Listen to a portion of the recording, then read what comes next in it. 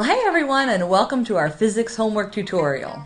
Uh, we hope you find this tutorial helpful in your study of physics, and if you do, please visit our website at www.physicsvodcasts.com.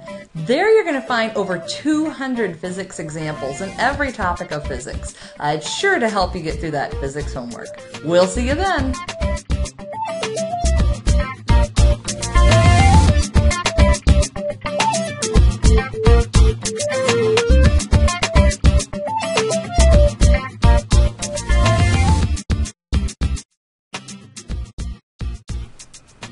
Welcome here on this problem with uh, Sioux Falls physics teachers. We're going to look at some energy released in alpha decay. So we want to calculate the amount of energy that gets released when in one alpha decay event of, in this case, plutonium-239. So the first thing we need to do is, let's write our uh, equation here for this alpha decay. So we're starting with the element plutonium-239.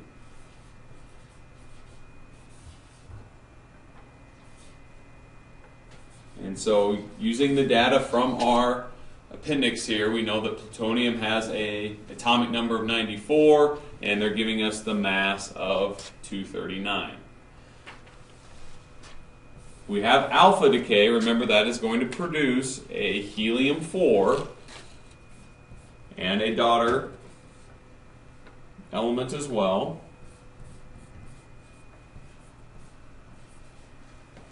And to figure out what goes in for our daughter element, uh, this one's going to end up becoming uranium.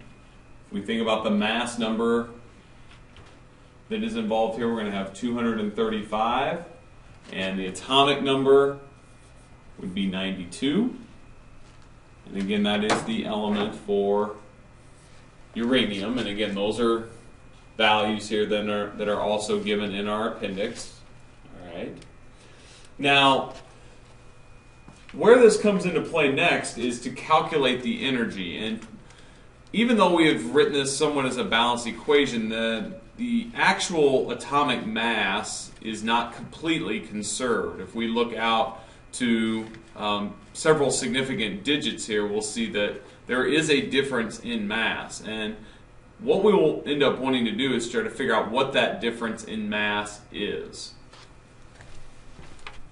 So first of all, let's look at the actual mass of the plutonium that we started with here.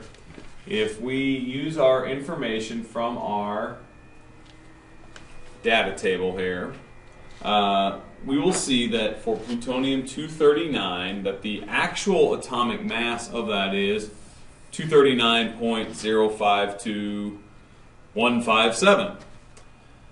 And so I'll go ahead and jot that down here.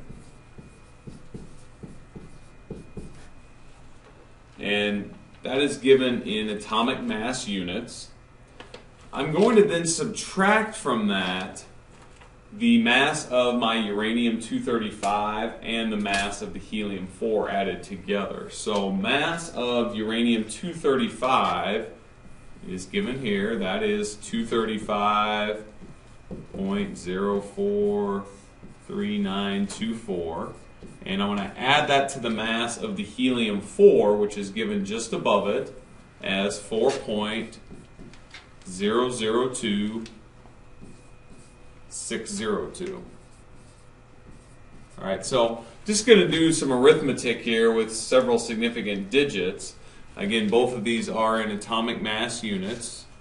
And when I calculate that out and subtract the difference there, I end up getting a difference in mass that is equal to 0.005631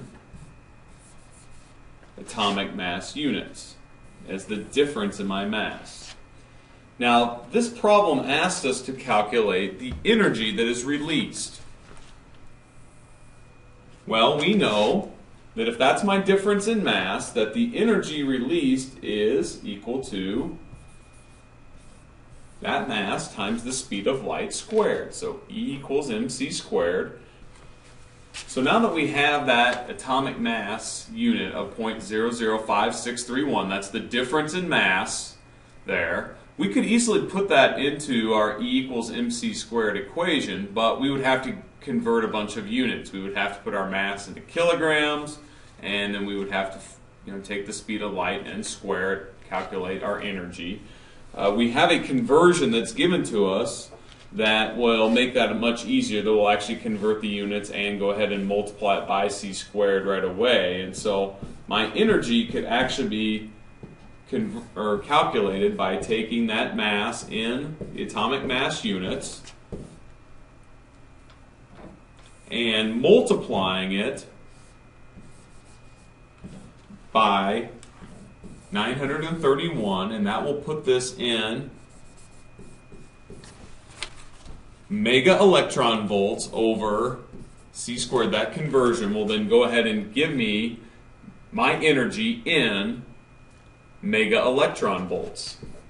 And so when I calculate that out, I get 5.242 mega electron volts of energy that are released during that decay.